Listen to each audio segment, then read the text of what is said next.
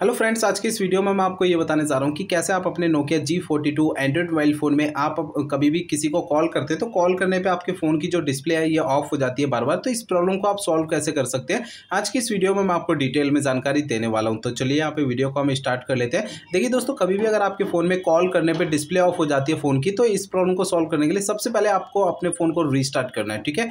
Restart करने के लिए आपको जो है ना मोबाइल फ़ोन के साइड वाला पावर बटन आपको उंगली से दबा के रखना है, ठीक है? तो आपकी स्क्रीन के सामने एक पेज ओपन होगा, छोटा सा, इसमें आपको रीस्टार्ट का ये ऑप्शन टैप करना है। इससे क्या होगा, आपका मोबाइल फ़ोन जो है वो ऑटोमेटिक स्विच ऑफ़ हो जाएगा। फिर इसके थोड़ी देर बाद ऑटोमेटिक स्विच ऑन हो जाएगा। रीस्टार्ट करने से ये होता है कि हमारे मोबाइल फ़ोन के एंड्रॉइड सिस्टम में अगर कोई कमी आ जाती है तो वो कमी जो है दूर हो जाती है। देखिए दोस्तों, कमी क्या हो सकती है? देखिए, हमारा मोबाइल फ़ोन जो है वो हैंग करता है कॉल करने पर डिस्प्ले ऑफ़ हो जाती है। ऐसी बहुत सारी एंड्रॉइड सिस्टम की कमियाँ जो है वो सॉल्व हो जाती है मोबाइल फ़ोन को रीस्टार्ट करने से, ठीक है? अब दोस्तों, इसके बाद यहाँ पर आपको अगला प्रोसेस करना ये है कि आपके मोबाइल फ़ोन का ये जो कॉलिंग का ऐप है, इस कॉलिंग के ऐप को है ना रीसेट करना है। यानी कि इसका डेटा डेटा क्लियर करना है। कैसे? देखिए, आपको इस कॉलिंग के ऐप को ना उंगली से दबा के रखना है, ठीक है? एक छोटा सा पेज ओपन होगा। इस पेज में आपको ये जो सर्कल के अंदर आई बटन बना हुआ दिखाई दे रहा है, इसे आपको टैप करना है, ठीक है? आपका ये वाला पेज ओपन होगा। इस पेज में आपको नीचे की साइड ये स्टोरेज एंड कैच का ऑप्शन टैप करना है, ठीक है? अब इसके अगले पेज में आपको दो ऑप्शन मिलते हैं। एक तो क्लियर स्टोरेज का, दूसरा क्लियर कैच का। आपको पहले क्लियर कैच पे टैप करना है, ठीक है?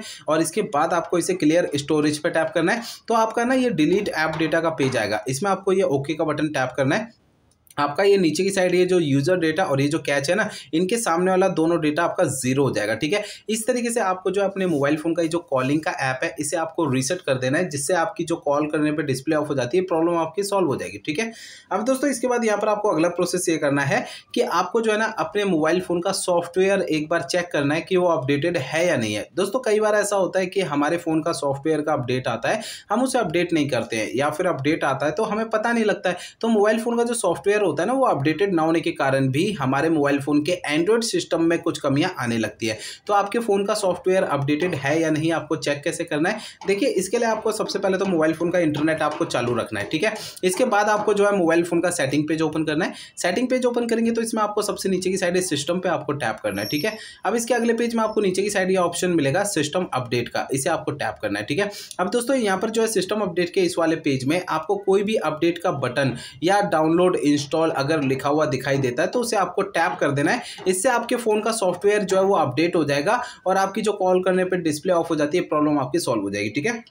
अब यहाँ पर दोस्तों आपको आखिरी प्रोसेस करना यह है कि आपको अपने मोबाइल फ़ोन को ना रीसेट कर देना है, ठीक है? देखिए दोस्तों, आपको अपने फ़ोन को ना रीसेट तभी करना है जब मेरे बताए हुए पिछले प्रोसेस अगर काम नहीं करते हैं, तब आपको अपने फ़ोन को रीसेट करना है अदरवाइज़ नहीं करना ठीक है?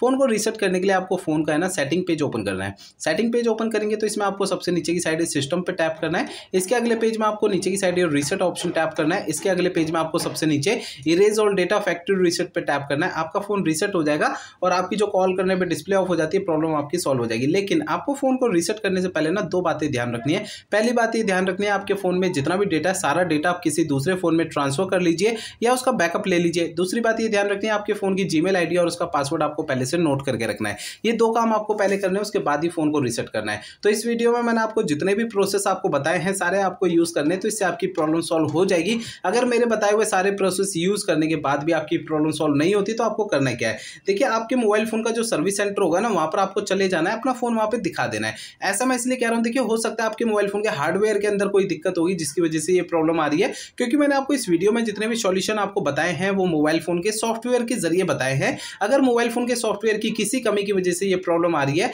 तो मेरे बताए हुए तरीकों से आपकी प्रॉब्लम सॉल्व हो जाएगी। अदरवाइज़ आपको अपने फ़ोन के सर्विस सेंटर जाना ही पड़ेगा।